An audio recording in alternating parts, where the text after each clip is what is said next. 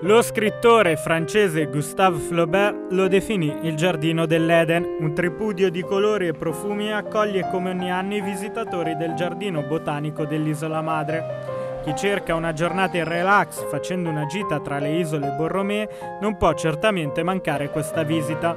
Un parco all'inglese che offre viali ombreggiati dove poter passeggiare e splendide fioriture capaci di lasciare i turisti senza parole. Sono molti quelli che non si lasciano scappare l'occasione per scattare fotografie ai fiori più particolari, per cercare di immortalare la bellezza in uno scatto. Tra le rare piante e i fiori esotici di questo giardino che circonda il Palazzo Borromeo vivono in completa libertà pappagalli, fagiani e pavoni, creando uno scenario davvero suggestivo.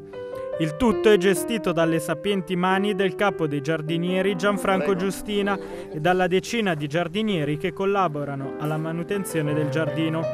Quest'anno le temperature particolarmente alte hanno aiutato la fioritura dei fiori tropicali. L'isola è già di per sé un ambiente molto speciale, molto particolare e questa impronta esotica eh, che lo distingue, che distingue questo giardino dagli altri giardini fa sì che questi fiori si vedono raramente in altri posti, vediamo le allamande, le bougainvillée, gli hibiscus eh, e tanti fiori che difficilmente si vedono in altri posti. Quest'anno il caldo ha favorito questi fiori eh, tropicali e subtropicali. Tra le specificità di questo giardino, come ovvio che sia, c'è quella di trovarsi su un'isola. Ciò rende il lavoro di manutenzione molto più difficile rispetto alla norma, così come ci spiega Gianfranco Giustina. Le difficoltà sono tantissime eh, dal punto di vista eh, tecnico in sé, i trasporti, eh, lavorare su un'isola siamo isolati, eh, qualsiasi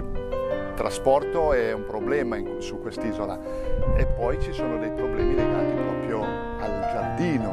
problemi di conservazione, problemi di introduzione di nuove essenze, problemi, eh, difficoltà di far crescere eh, certe piante.